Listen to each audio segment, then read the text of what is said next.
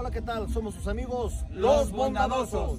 Y los invitamos para que estén en este programa de acariciamesp.com. Somos Los Bondadosos.